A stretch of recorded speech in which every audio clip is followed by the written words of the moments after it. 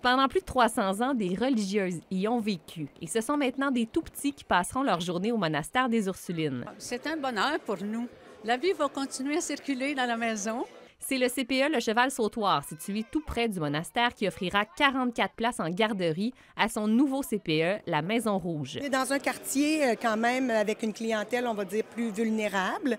Et puis, euh, il y a beaucoup, beaucoup de demandes. Il y avait beaucoup de demandes pour des poupons. Nous autres, c'est à tous les jours, ça cogne à la porte, les courriels. Le deuxième occupant sera le CIUS Mauricie Centre du Québec avec une centaine d'employés. Direction de l'enseignement universitaire, de la recherche et de l'innovation et euh, des employés également de notre institut universitaire en déficience intellectuelle et troubles du spectre de l'autisme. Il faut comprendre, bien qu'on ne reçoit pas nécessairement d'usagers, quand on fait des projets de recherche, on travaille avec des clientèles, il va y avoir un bénéfice quand même. Un troisième locataire devrait s'ajouter une fois les derniers détails réglés avec la ville, le Cégep de Trois-Rivières et sa technique d'éducation à l'enfance. Le monastère deviendra ainsi un grand laboratoire où tous les occupants pourront collaborer. Ce qu'on aime, c'est qu'on va être aussi des salles d'observation pour les étudiantes euh, en éducation à l'enfance. Donc, euh, on ne peut pas être plus collé que ça avec euh, l'apprentissage et la pratique. Avec évidemment le Cégep de Trois-Rivières, avec le CPE Cheval-Sautoir, si jamais des enfants avaient certaines difficultés au niveau d'une déficience intellectuelle, par exemple,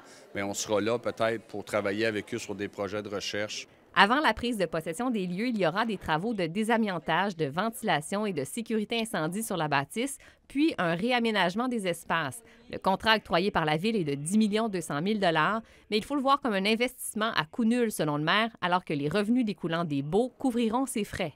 On n'est pas en compétition avec euh, les autres promoteurs. On vient à un prix qui est quand même euh, correct euh, permettent à des organisations gouvernementales, dans ce cas-ci, d'occuper les lieux. Les travaux à la Maison Rouge débuteront au cours des prochaines semaines pour accueillir les enfants du CPE à partir du mois de septembre et les travailleurs du CIUS d'ici un an.